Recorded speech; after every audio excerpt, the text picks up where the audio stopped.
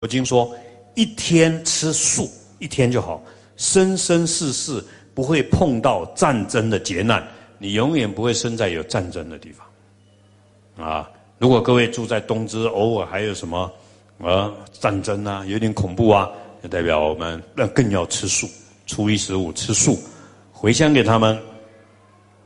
大家就和平了，和平大家就发财了啊，就没有战争。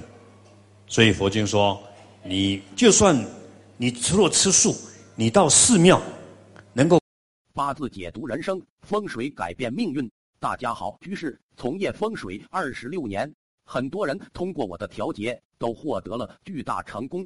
针对八字测算、风水布局、命理分析、事业财运、手相面相。感情婚姻有独到专研见解。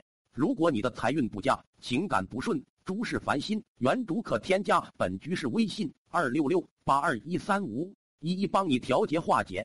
记住微信二六六八二一三五。吃斋的斋饭，生生世世肚子不会饿到，不会生在贫穷的地方。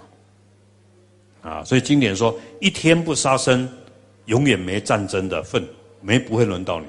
一天。